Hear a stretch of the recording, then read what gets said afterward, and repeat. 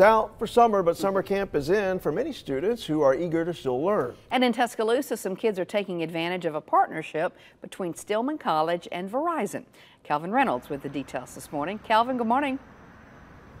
Good morning to you, Janice and Mike. The second annual Stillman Verizon Innovative Learning Camp is going on right now, and instructors tell us around 50 kids are taking advantage of it and learning some new things, especially when it comes to STEM. Now, we visited one class there recently, and the kids there were more into their assignment than my news camera, even though I was moving around shooting a lot of video. It's middle school students that are making up the campers this go around, and they're participating in several science, technology, engineering, and math related activities. Uh, that includes design thinking, 3D printing, robotics, social entrepreneurship, and more. State certified teachers from the Tuscaloosa area are working with them to make sure that they're getting the most out of this camp.